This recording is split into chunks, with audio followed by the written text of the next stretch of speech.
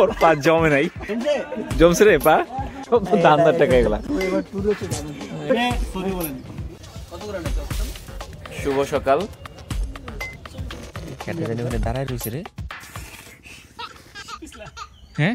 দাঁতটা তার একটা পড়ব নাকি? মিস্টার সাদবির চা খাওয়ায় ব্যস্ত জনাব শাওন। মোবাইল থেকে খুব ট্রাই করতেছে। কীভাবে কীভাবে যাইতে হবে? মোবাইল খাওয়া ব্যস্ত। মোবাইল? শাওন হচ্ছে মোবাইল খাওয়ায় ব্যস্ত। আটটার সময় আমাদের লঞ্চ ছেড়েছিল সেখান থেকে আহ, সকাল সাড়ে ছয়টায় এসে পৌঁছেছি বেতুয়া লঞ্চ ঘাটে ভোলা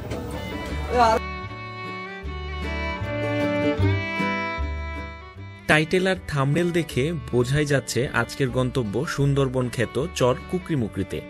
ঢাকা থেকে গতকাল রাত সাতটা পঁয়তাল্লিশে ফারহান পাঁচ লঞ্চে রওনা করে কিছুক্ষণ আগে বেতুয়া লঞ্চ ঘাটে পৌঁছাই এবারের গন্তব্য অটোরিকশাতে চর ফ্যাশন পর্যন্ত।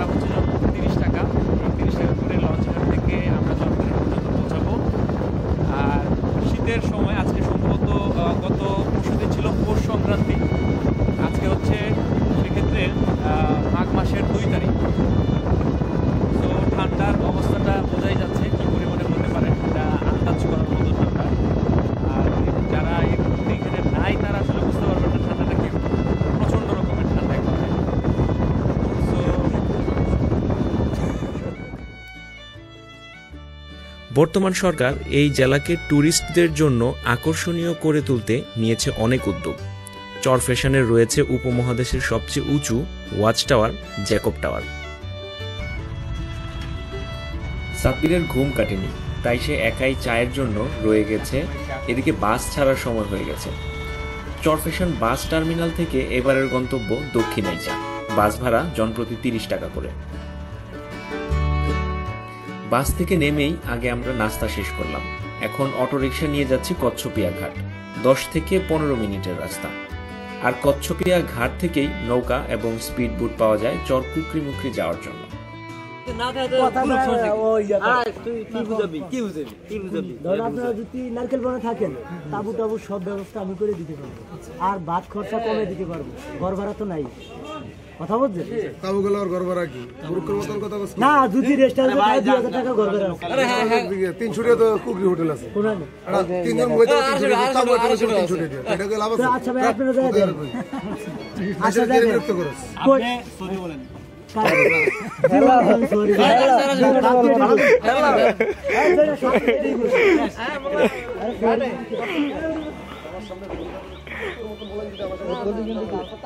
আমার তো পড়ার অনেক অভ্যাস। এদিক দিয়ে যাইস না সাদবির সিঁড়ি দিয়া নাম।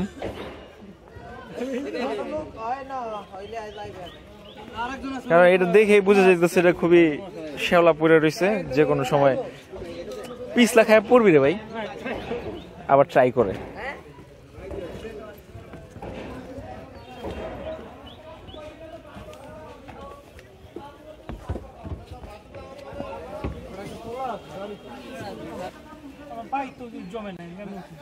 ওর পা জমে নাই। জমছে? জমছে রে পা?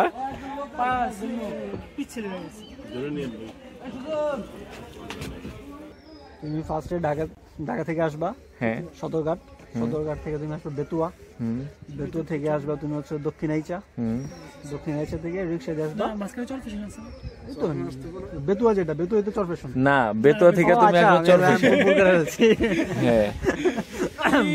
বেতুয়া বেতুয়া থেকে তুমি আসবা রিক্সা দিয়ে। হুম। তুমি চরফেশন। চরফেশন থেকে আসবা তুমি হচ্ছে আবার বাসে। হুম। ডিএম পরিবহন বাস।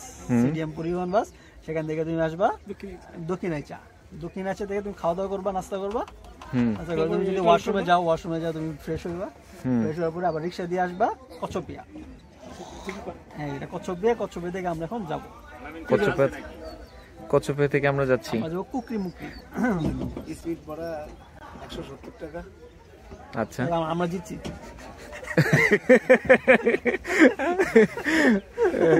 আমরা দেড়শো টাকা করে আসতেছি। সামনের বাইরে থেকে একশো সত্তর টাকা নিছে। টাকা আমরা গাড়ি দিতে হবে না বিশ টাকা করে নিই আবার নিবো? এটা তো বলে নাই। বিশ টাকা স্পিড বোট ভরাই দেড়শো টাকা। আর গাড়ি হবে বিশ টাকা না জানি দশ টাকা না আচ্ছা আমার কাছ থেকে নেয় নাই আমরা টুরিস্ট নিব এই যে উঠলে আমরা আটজন হইলে তারপর আসব। ও খোদা। মানে অনেক জায়গায় আমাদের ট্যুরটা তো বললাম দান্দার ট্যুর কিছু হিডেন কষ্ট থেকেই যেতেছে। শালা।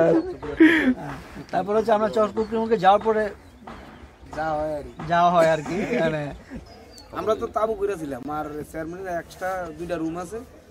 আমাকে এক বড় ভাই ছিল হ্যাঁ আবার চেয়ারম্যানের ভালো সম্পর্ক পরে হ্যাঁ ফোন দিয়েছে ফোন দিয়েছে আর চেয়ারম্যানের হ্যাঁ লোকের কয়ে দিয়েছে দুইটা রুম ছেড়ে দাও। আমার কিছু লোক আছিল এই রুম দুইটা আর কিছু লোক আছিল আমরা তাবুর মধ্যে। পিকনিক গেছি রাত্রে তাবুর মধ্যে থাকুন অসুবিধা কি? আবার আপনার সেখানে ওই পাতি শিকালের অভাব নেই রাত্রে। একদম আমরা কাছে হইল আমাকে পাঁচটা ছয়টা বসি লিয়ে গেছে। মানুষ কমলে তো ডিস্টার্ব করে শিয়ালগুলো তাইলে? মানুষ কম আপনি সিঙ্গেল থাকলেও এটা না আল্লাহ ইয়া করলে আপনার সমস্যা নেই। ও। ওই যে আপনার খায়া যেগুলি ফালান এগুলি খায়। ও আচ্ছা। আমরা ওই আশের ইয়া দিয়া এগুলি ধরার জন্য ইয়া করছিলাম। বসি কাইটটা দেয়। বসি মসি নিয়ে ছিলাম মাছ মাছ ধরলে না পাতি- পাতি শিকল ধরার জন্য। আপনারা শিয়াল ধরবেন? শিয়াল ধরার লেগে গেছিলাম শিয়াল ধরে শিয়াল ধরে কি করবেন? মজা না? শিয়ালের মাংস খায়। শিয়ালের মাংস খাইছেন এমনিতে আপনি কখনো? না। এই তিনবার যাই আমরা ওই সরে একবারও ধরতে পারি না বসি প্রতিবার লইয়া যায় ও।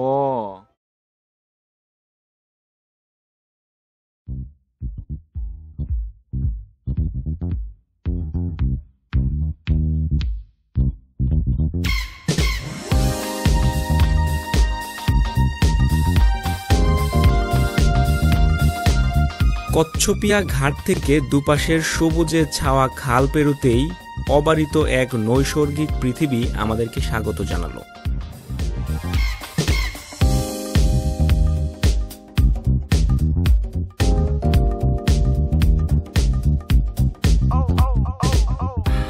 এখানে প্রকৃতি সেজেছে আপন রূপে। তবে প্রকৃতির এই আপন রূপে রূপান্তরের পেছনের গল্পটা কি জানা আছে? চরকুকরিমুকরি আটশো বছরের পুরনো একটি দ্বীপ। এ দ্বীপে একসময় ছিল পর্তুগিজ জলদস্যুদের আস্থানা। কালের বিবর্তনে এই দ্বীপ একবার মানচিত্র থেকে হারিয়ে গিয়েছিল। পুনরায় উনিশশো বারো সালে জেগে ওঠে এই দ্বীপ। পরবর্তীতে দেশ স্বাধীনের পর এখানে বন সম্প্রসারণ অধিদপ্তর বনায়ন শুরু করে। তাই এটিকে কৃত্রিম বা মানবসৃষ্ট বনও বলা যেতে পারে।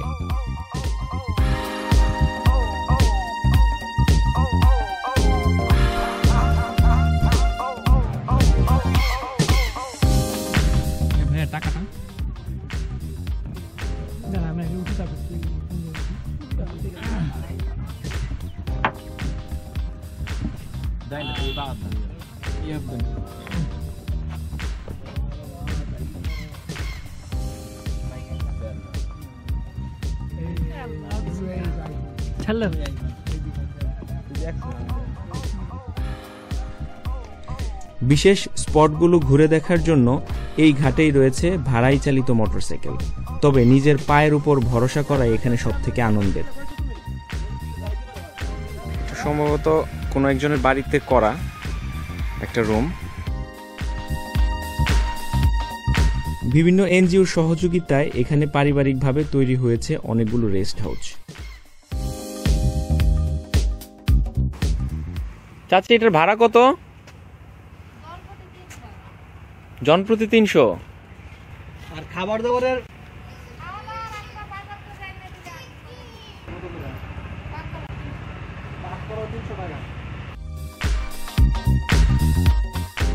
এটি coastal forest development centre cum rest house. কুকরিতে একমাত্র থ্রি স্টার সমমানের রেস্ট হাউস বলা যায়। এখানে সুইমিং পুল সহ রয়েছে খেলার মাঠ। যে কেউ এখানে থাকতে পারবেন, তবে বুকিং করে আসাটাই ভালো। রুমের ভাড়া দুই হাজার টাকা।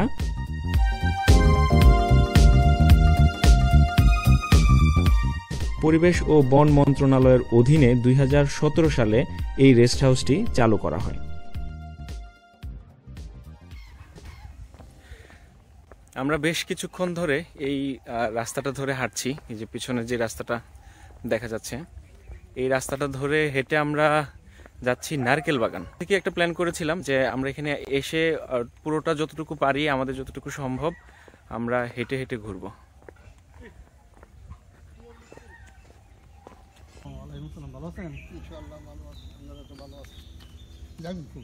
ওই ইয়া নারকেল বাগানটা? এই যে পথ আছে। আচ্ছা কাকা। আর জান না? হ্যাঁ? এই নতুন? নতুন? তো এই পথ পথ দিয়ে। আজকে থাকব আমরা এদিকে। হ্যাঁ।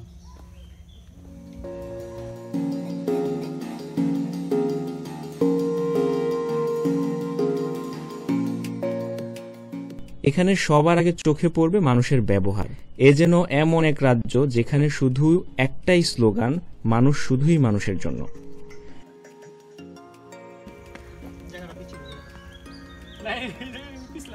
হ্যাঁ? দাঁতটা তার একটা পড়ব নাকি? আসো, কেন ধরবে না? আমার তো ভয় লাগে নাকি? মনে করো, এই কাদার মধ্যে পড়ে গেলে এখন আমার কি হবে? না আছে জামা কাপড়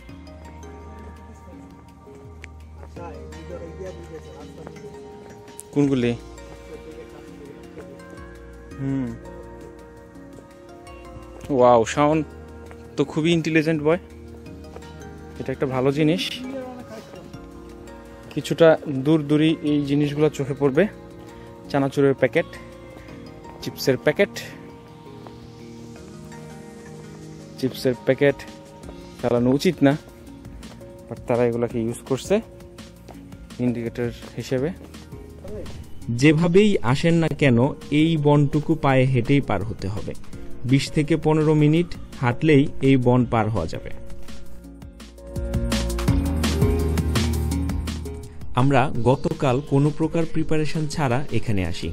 আমাদের প্ল্যান সারা দিন কুকরিতে ঘুরে রাতের লঞ্চে ঢাকা চলে আসব, অথবা কোনো রেস্ট হাউসে থেকে যাব। কিন্তু স্থানীয় একজন চায়ের দোকানদার আমাদের একটা লোভনীয় অফার করে বসলেন। তিনি চারশো টাকায় টেন্টের ব্যবস্থা করে দিবেন, সাথে বেড আর কম্বল ফ্রি আমরাও এমন লোভনীয় অফার ফেলতে পারলাম না। তাঁবুতে থাকার কঠিন সিদ্ধান্ত খুব সহজেই নিয়ে নিলাম।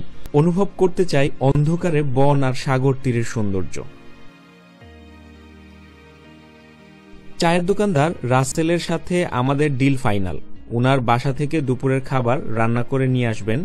মেনু, আমরা যা ঠিক করে দিব তাই। দুপুরের মেনু ঠিক করা হলো সামুদ্রিক জাভা মাছ ভুনা ডাল আর ভোলার বিখ্যাত লাল চালের ভাত। আর রাতের মেনুতে আছে সামুদ্রিক লাল চেওয়া মাছ।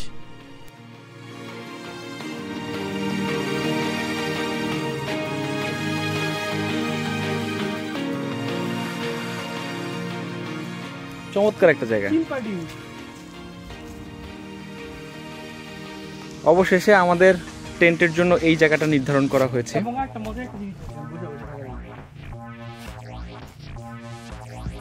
মানে আসলেই মনে হইতেছে কি মানে একটা অ্যাডভেঞ্চারের যে একটা বিষয় এই জিনিসগুলো আমার মধ্যে কাজ করতেছে এই মুহূর্তে।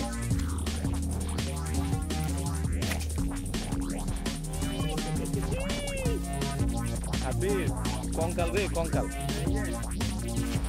এইটা আজকে রাতে ধরে কামড়াইবো। এই যে। এটা- এটা মানুষের হাতে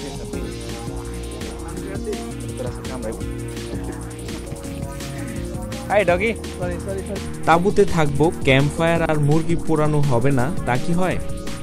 দুপুরের খাবার খেয়েই নেমে পড়লাম শুকনো কাঠের সন্ধানে। জঙ্গলে একটু হাঁটতেই পাওয়া যাবে অসংখ্য শুকনো মরা গাছের গুড়ি আর কাঠ।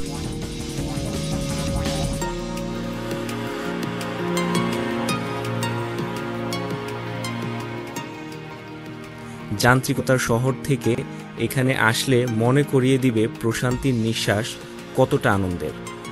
ইঞ্জিন চালিত নৌকা আর মোবাইল ফোন ছাড়া যান্ত্রিকতার কিছুই নেই আমাদের সাথে। চারপাশের পরিবেশ আমাদের মনে করিয়ে দিচ্ছে বইয়ের পাতায় কল্পনা করা মানবজাতির বন জঙ্গলের বসবাসের গল্প। চরের নাম নাকি কুকরিমুকরি স্থানীয়দের কাছ থেকে জানা যায়, এখানে একসময় কুকুর আর ইঁদুরের বসবাস ছিল। আর ইঁদুর এখানে মেকর নামে বেশি পরিচিত ছিল।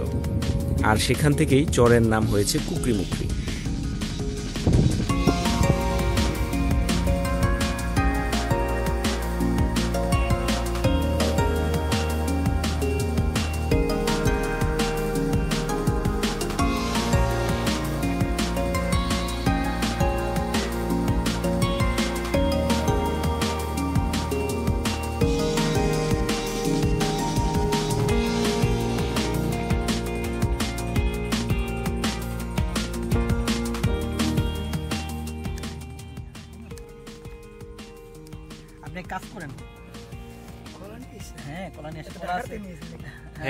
ঢাকা থেকে কলা আছে পাউরুটি আছে। পাউরুটি? না না না আমি এই মাত্র খাইছি। আমি এই মাত্র খাইছি। করলা এই নেই কলা নাই। ভাই অনেক কষ্ট করে অনেকগুলা লাকড়ি নিয়ে আসছেন আপনি। আমরা একদম ধন্য হয়ে গেছি এতগুলা লাকড়ি আনার কারণে। দেখ দেখ দেখ। শাইন না তুই এসে ইনজুর করবি।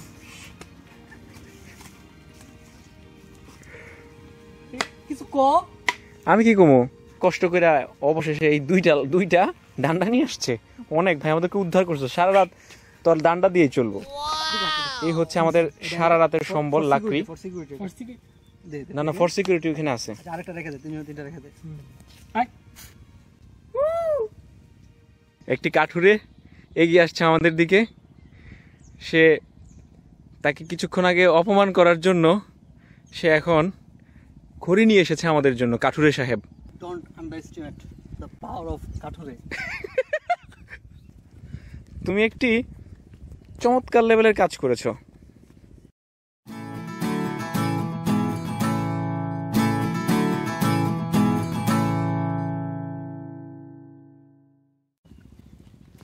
আর মনে হয় না লাগবো।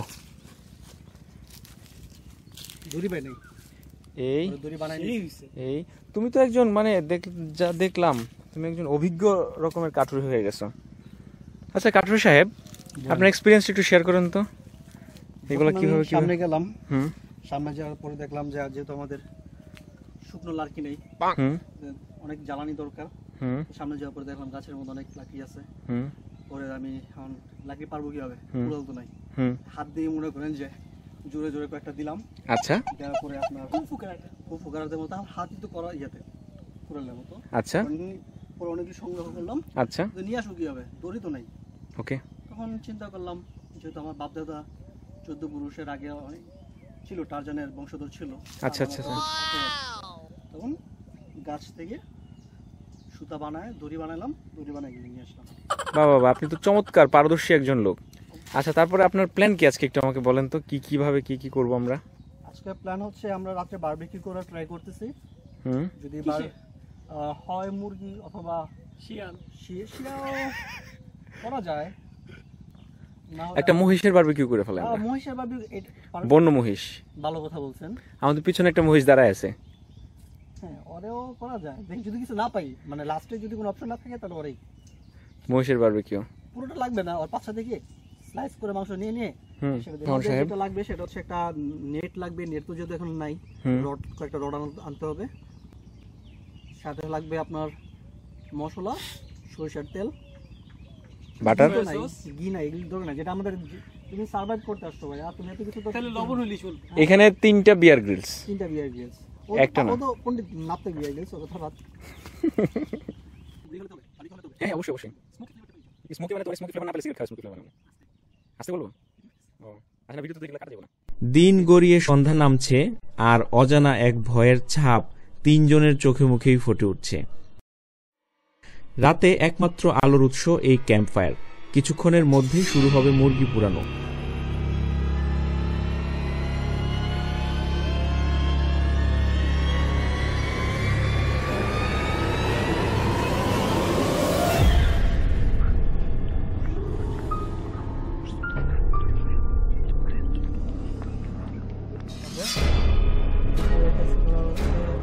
লোকটা এরকম একটা ভয়ঙ্কর সিচুয়েশনের মধ্যে তার বউয়ের সাথে কথা বলতেছে। কি আনন্দ তার না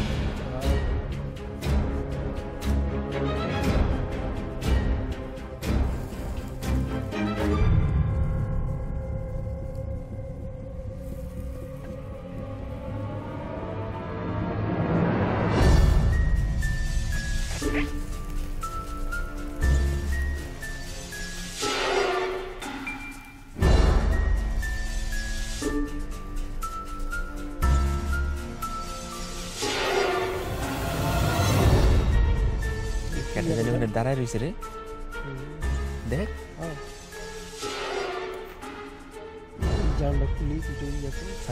দেখতেছস?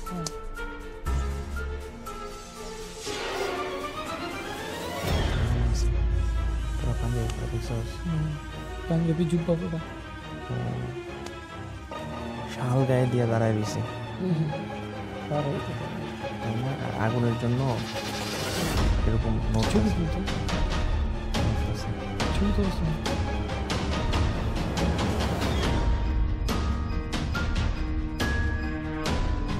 রাতের গল্প থাক আপাতত ভিডিও বাদ দুই বন্ধুর সাথে গল্প আর রাতের সৌন্দর্য দেখতেই ভালো লাগছে। বেঁচে থাকলে দেখা হবে ইনশাল্লাহ কাল সকালে।